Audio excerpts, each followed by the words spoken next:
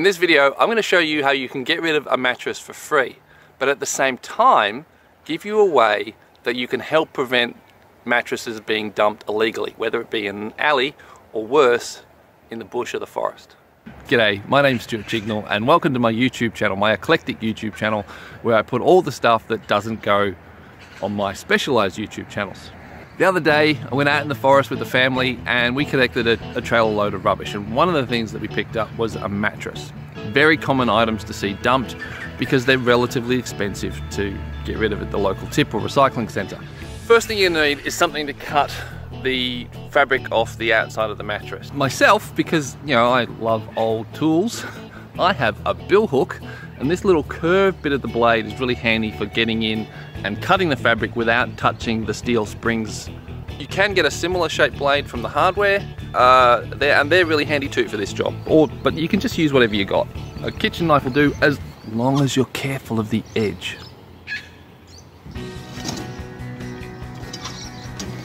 All we're doing is cutting down the sides. This has been out in the weather so long I can just rip it off. I don't even need the blade. If this was a, a mattress that hadn't been left in the bush for God knows how long, you might be able to recycle the textile component because the textile component can be go into textile recycling. This packing blanket material that I've got to remove now is actually made from recycled textile. So if this hadn't been left out in the bush for God knows how long, it could be recycled again but on the back of it is this plastic stuff, which is really nasty if this was to be left to degrade in the bush because all of this stuff just it, it just immediately disintegrates into microplastics. So really bad. This fabric is is stapled to the steel mattress. Now I can just rip it off, but if you don't have the hand strength, it's easier to use a tool to either lever it off or just hammer it off. You don't need a big hammer like this, it's just what I have in hand. Now just something I want to show you, word of caution, especially if you're dealing with a mattress that someone else has dumped or you're dealing with a mattress that you've maybe had, had out in the shed or the garden for a while what could be living in it. Now when I first picked this mattress up I was being very careful that there weren't any snakes in it. As it turned out there were mice which would have attracted snakes but just taking it apart now, I have found those are redback egg sacs. For my viewers that are in America, you have got black widows and brown widows, whereas we have redbacks, which are, well, nastier. Can't see the mum who laid them, but just be aware of that, what could be living inside the mattress when you're taking it apart. Now, no timber in this one, so I don't have to deal with that. If there is timber in the mattress or in the mattress base, unless it's incredibly old, don't burn the timber because uh, often those timbers are treated. If you burn it, you release all the nasties in there that are used to preserve the timber. Arsenic, copper, chrome, whole bunch of stuff. Don't burn it. So what do we do now with the metal? Well, this metal is top quality steel. In fact, it's what's known as spring steel. Funny that, yeah. Spring steel is very good quality steel. You can take it to a metal recycler and they'll take it off your hands quite happily. In fact, if you've got a whole truckload, they will buy it. Now, the other thing you can do is you can keep them and you can reuse them.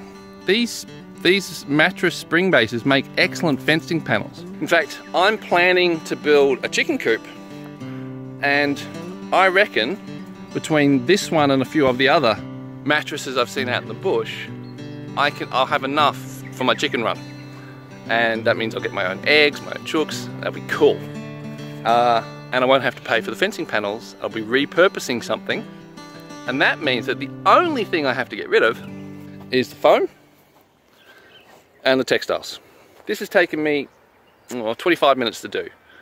And that includes the time I spent stopping to talk to you guys, moving cameras around, changing angles of shots and stuff if you were just to get into it and just get it done 10 let's say 15 minutes conservatively and this is the point that I want you guys to understand. You guys aren't really my target audience. If enough people see it if it gets to the point where not just that not so much the video is being shared all over the place but the information that it only takes 10 to 15 minutes to break a mattress down and then you can get rid of it for free then people who are poor or irresponsible will be less likely to dump their mattresses in the bush or down the canal or wherever. And that's going to be very good for the environment. Because this mattress that was dumped and left to rot and, and having been out in the sun and the weather for so long has been breaking down all these little microplastics end up in the waterways, in the food chain. And so any mattress that you and I, by working together, me doing the video and you guys sharing it, any mattress that we can prevent from being dumped illegally is going to be a win for the environment. So please, please, share this video or just share the information. If you're a YouTuber, do your own, just copy off what I've done, do your own video and send it out, especially if you've got more subscribers than me, because I don't have many. So, hope you enjoyed, hope you find it useful, hope you share it, get the information out there, and I'll catch you in the next video. Bye-bye. One little extra thing is, especially if it's been out in the weather for a while, make sure you fold the edges of the frayed plastics into the center of the bundle. Because if you were just to put that on the trailer then all those little plastics would be thrown around all blown over the place